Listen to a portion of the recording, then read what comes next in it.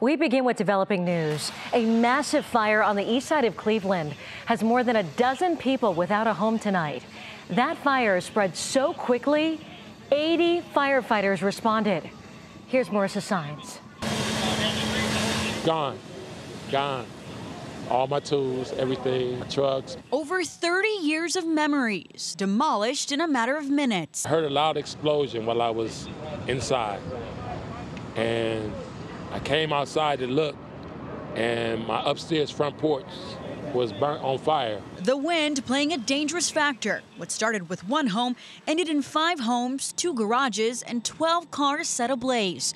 Cleveland Fire confirming 16 people are displaced tonight, all of them safe. Sleeping next door, to Tashana Wright and her boyfriend. Got up and checked the heat again to see that it was the kitchen was in flames.